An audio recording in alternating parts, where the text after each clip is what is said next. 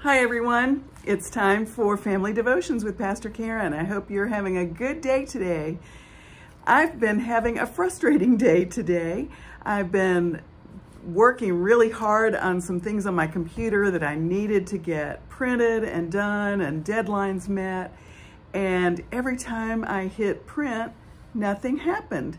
And I kept working and I, a couple of documents I had to start all over again and start again because it didn't save and I just couldn't figure out what was going on.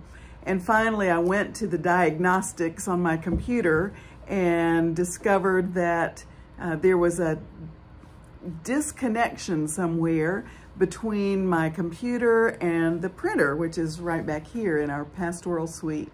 And for some reason, the command to print wasn't making it to the printer and uh, so nothing was coming out and I wasn't able to produce what I needed to do.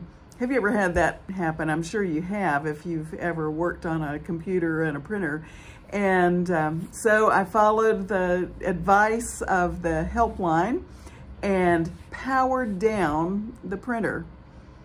That means turn it off, disconnect it from all that busy work that you're asking it to do and let it get a reset. And as soon as I did that, I turned off the machine. I powered it down. I let it rest for a few minutes and then I powered it back up. I turned it back on and lo and behold, there's a whole stack of things that have printed out that I have been waiting for all day long.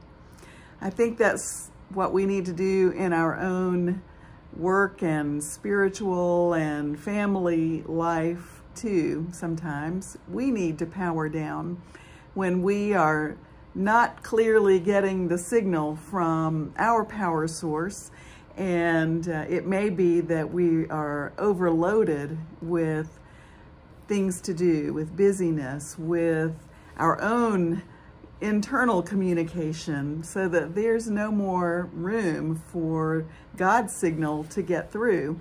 And, and when we get to those points, when we're frustrated, when we're low on energy, when we're empty, when we don't have a good source of spiritual energy to keep us going or keep us guided in the right direction, when we need to hear a word from God and we're just not hearing it, that's the time for us to power down, to just turn off for a few moments, maybe sometimes even longer, maybe for a day, a weekend, a week, to power down and disconnect from all those messages that have just crowded our inbox, at work, that have crowded our minds at home, that have crowded our hearts so that there's no room for the deeper connection with God to work.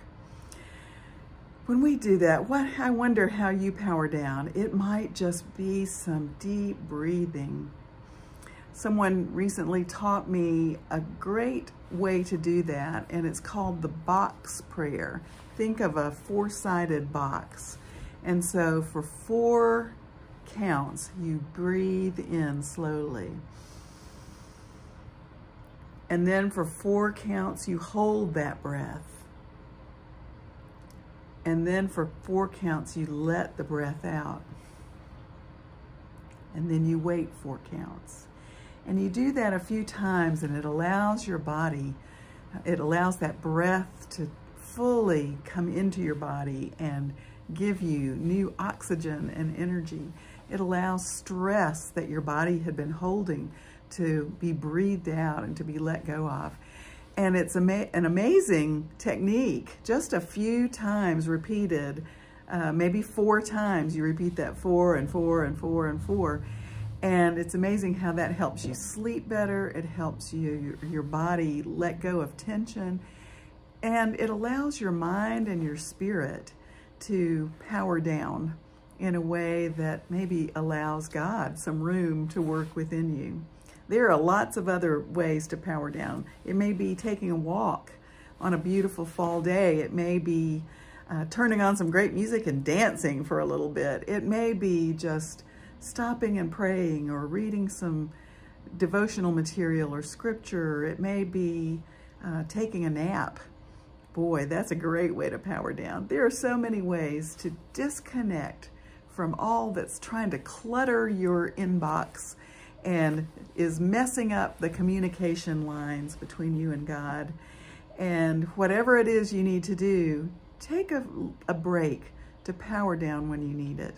It reminds me of that wonderful story in Luke chapter 10, the two sisters, Martha and Mary, who were getting ready to welcome Jesus and the other male disciples into their home. And uh, Martha was just busy, busy, busy, and she had a long to-do list, and she was trying so hard to get everything done and to stay on top of the tasks she had set for herself. And Jesus reminded her that Mary had chosen to power down for a few moments and to sit at the feet of Jesus and simply listen to his voice. And that was, as Jesus said, the better way. It's the better way for all of us from time to time. So I hope that as you're beginning this day or perhaps beginning a new week, that you'll remember to power down when you need to and spend some time with God this week.